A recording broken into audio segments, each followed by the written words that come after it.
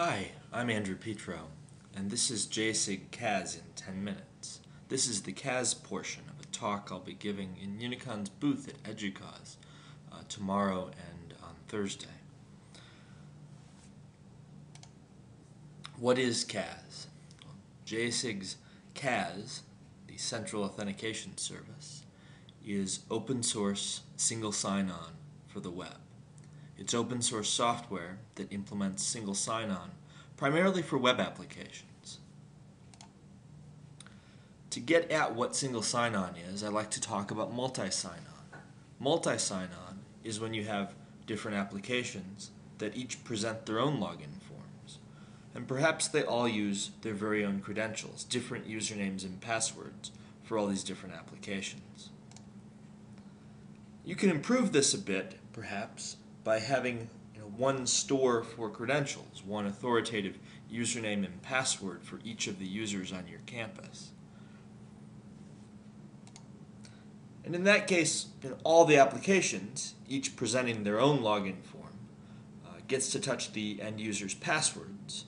Uh, and if you've used LDAP or some other store as your central store of passwords. So at least I'm using the same username and password for each application. Well, you get some user convenience in only having one username and password for all of these. But of course, all these applications are touching the user's password, which means that any compromise among any of these applications is going to leak primary credentials.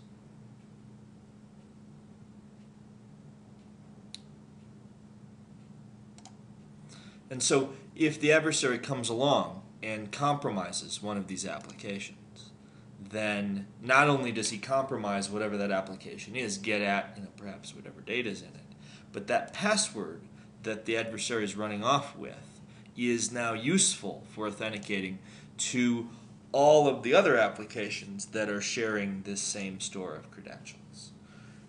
And so this is a bad thing that the uh, weakest link in your environment, whichever application is most convenient to compromise, yields passwords that are useful in accessing other applications.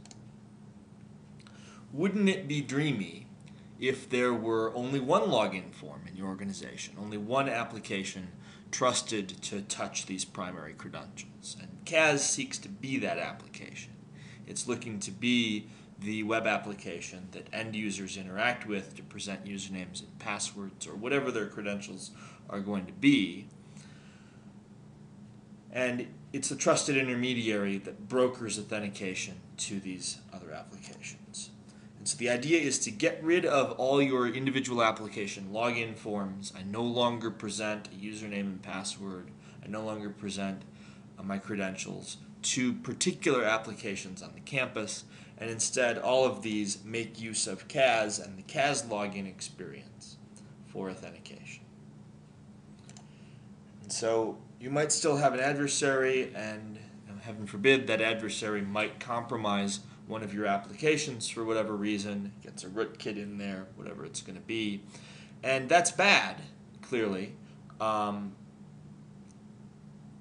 depending on the application, it might be less bad or more bad. Maybe there's some very important student data in there that was protected that no more is protected because the adversary's gotten his hands on it.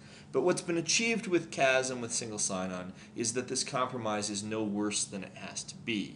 That the adversary doesn't get his hand on the end user's credentials because the end user is not presenting any credentials to these individual applications.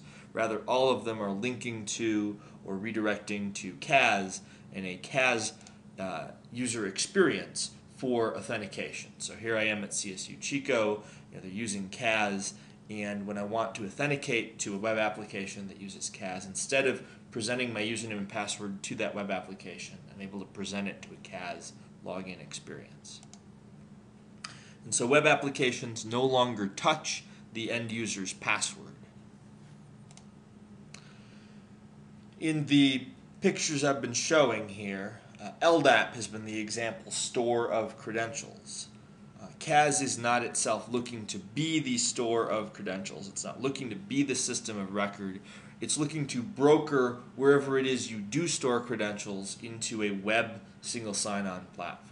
So you continue to store credentials wherever it is that makes sense to store them, whether it's in LDAP or Active Directory or in a database or uh, in a system that you authenticate to via Radius or, or whatever it's going to be.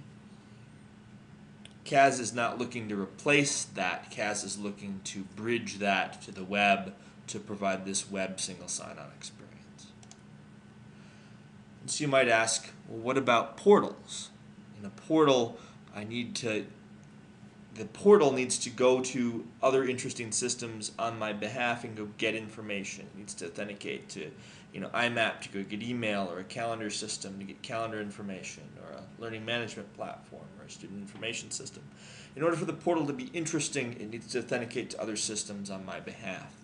And perhaps in the traditional bad old days, what happens is that I present a password to the portal, and the portal goes ahead and feeds that password out to you know, the modules that need it, which go ahead and replay it in screen scraping or authenticating to an IMAP server on my behalf or authenticating to some other system on my behalf. And so it's a, uh, lot of credential replay.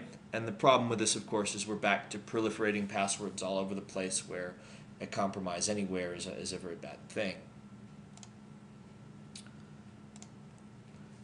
It, with CAS, there's no password to replay.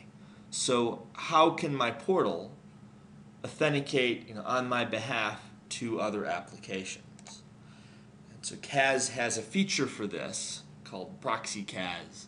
Uh, and so some web applications proxy authentication via CAS, using CAS as that trusted intermediary, to backing services on behalf of the user these proxied applications and services may themselves proxy authentication. So you can have a whole stack of turtles if perhaps your portal needs to proxy uh, authentication to a webmail application, which in turn proxies authentication to the IMAP server, you know, that chain is entirely viable.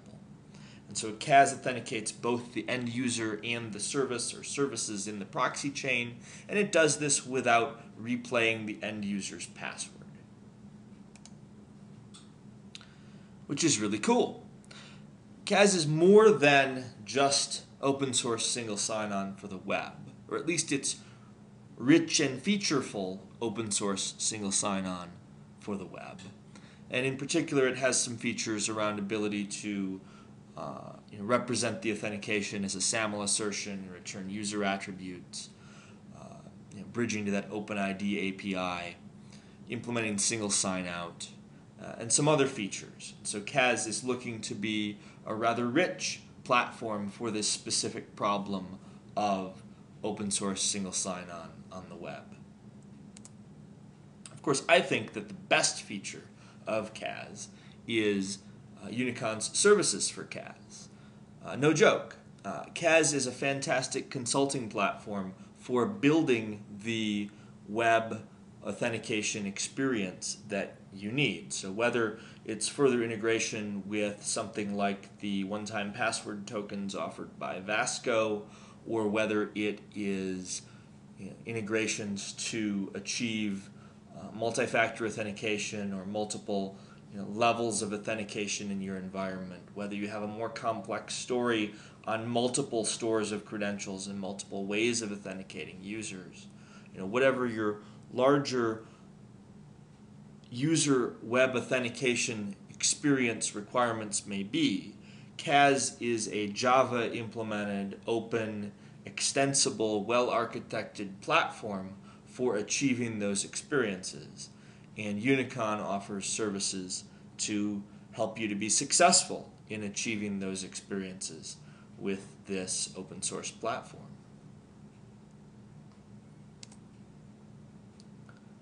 If you have any questions, about CAS, about Unicon's services for CAS, I would be absolutely thrilled for you to contact me.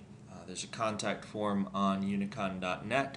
There's an email address, uh, my email address, apetro at unicon.net. I'd be more than happy to see an email from you and talk further about this presentation. I hope a 10 minute introduction to CAS has been helpful for you.